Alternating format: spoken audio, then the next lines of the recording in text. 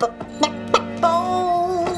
and his temper is a terror to behold. His eyes are sort of crooked. He can barely count to three, and that's what makes him beautiful to me. He is big, and boy is he strong. He will fight for what is wrong what is wrong. He's impatient and he's rude and he belches constantly. And that's what makes him b- beautiful to me.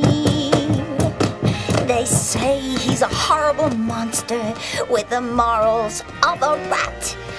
But I know deep inside he's much, much worse than that. My giblets go to jelly when I see his muscles flex. I long to peck, peck, peck, peck, peck, peck, at his pecs. He's unfair. He's unwise. There's a dark, unspeakable evil in his eyes.